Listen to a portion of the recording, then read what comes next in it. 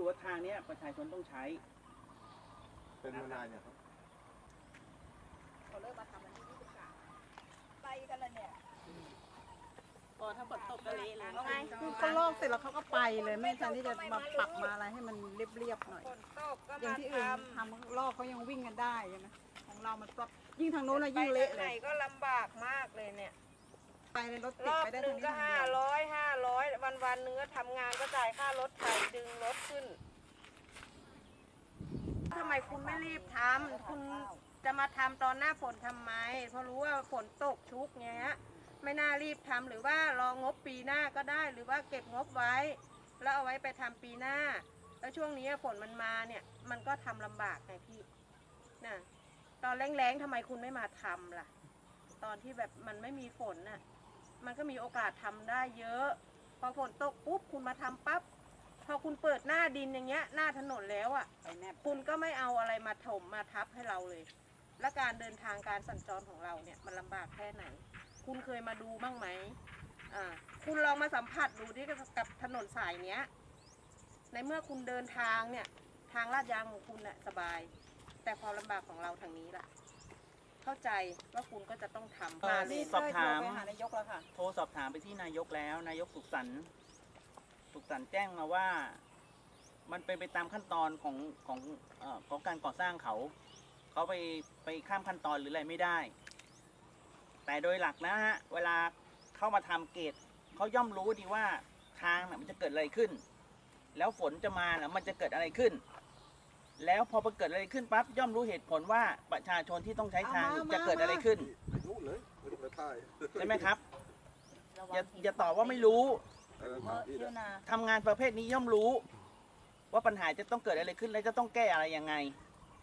แต่นี่ก็ผ่านไปในหนึ่งอาทิตย์แล้วหลังจากลอกไปเสร็จ วันที่ลอกกันลอกทุกวันจนเสร็จพอพอลอกเสร็จแล้วทิ้งไปเลยหนึ่งอาทิตย์กว่าๆแน่นอนเห็นเห็นเลย ไม่มีการมาแก้ไขใดๆทั้งสิ้น น่าจะเอาลูกลังแดงหรือเอาลูกลังแดงลงก่อนแล้วก็เอาทรายมากบหน้าให้เรามั่งมันก็จะได้เข้าออกสบายหน่อย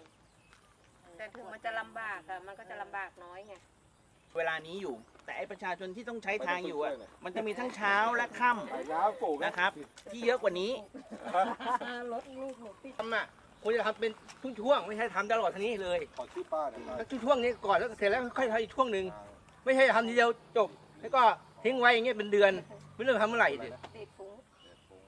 เพราะว่าน่าจะเป็นมีใหม่แล้วล่ะเพราะว่าตอนนี้ทำไม่ได้แล้วคุณตกมันลอกทำหาอะไรกันเนี่ยก็ใช่ดิใช้เรือก็ไม่ได้ควรจะทำให้มีไหมมีไอ้แบบขั้นตอนดีกว่าเหอะช่วงหนึ่งเสร็จช่วงก็ทำอีกช่วงหนึ่งอ่าไม่ใช่ทำทีเดียวยืดแล้วก็ปล่อยทิ้งไว้เป็นเดือนแต่บ้านก็ออกข้าวออกเงี้ยลำบากไหมน่ะ ไปเอาจอบใช่ไหมเนี่ย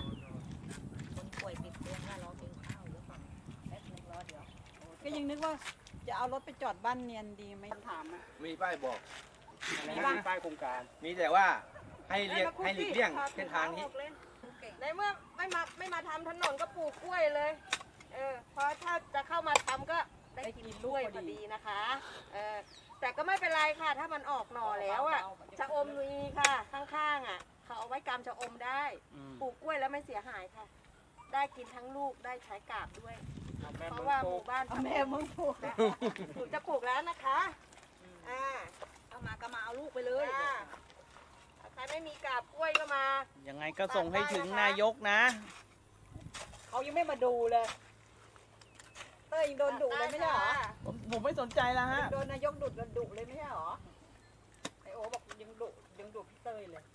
ดุมาผมก็ใส่กาบเท่านั้นเอง เพราะเราเลือกเขาอะ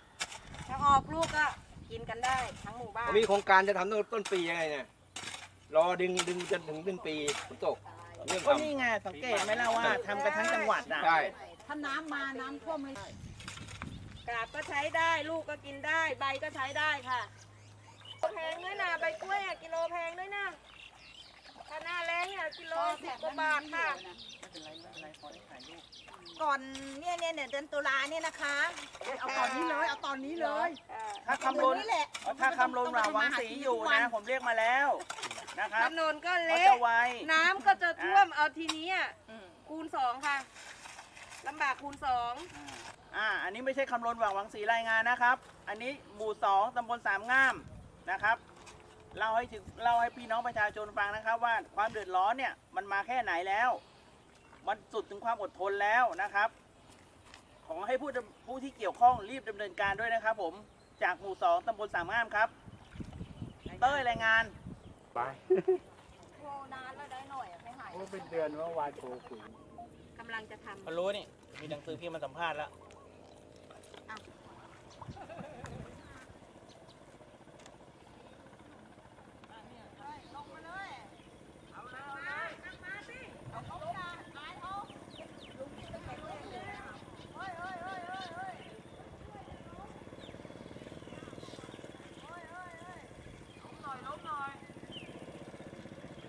ขายิ่งดีๆหนักแต่ เก่าก็ดี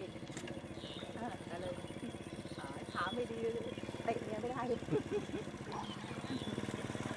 หัวโลกขาหัวโลกนี่พวกกูถูกตามมันไม่กล้าล้มไงซื้อไปฝากหน่อยพอแฟนไปโรงพยาบาลหาหมอนัดโอ้โหเกิดมากครับตอนเนี้ย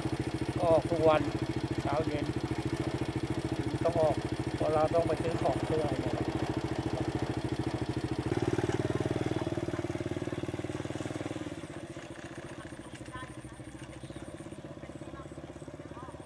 สอนมาไม่ได้ ไปโรงพยาบาลมาเหนื่อยไปทำเนี่ยเป็นไรไม่ถูก